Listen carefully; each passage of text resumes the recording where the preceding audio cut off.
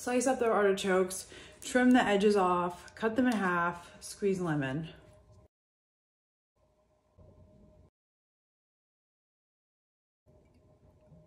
Drizzle with olive oil.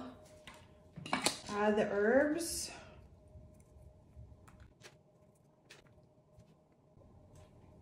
Add the garlic.